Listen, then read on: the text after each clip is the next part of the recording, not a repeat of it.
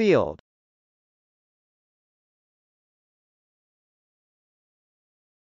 Field.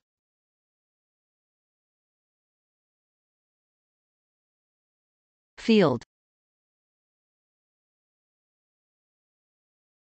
Field can be a noun, a verb or a name. As a noun field can mean, 1.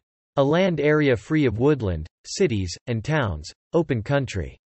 2. A wide, open space that is usually used to grow crops or to hold farm animals.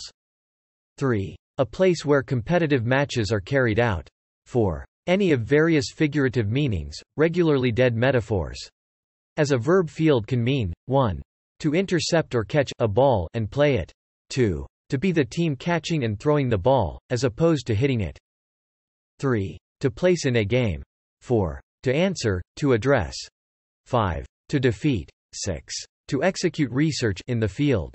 7. To deploy in the field. As a name field can mean, surname.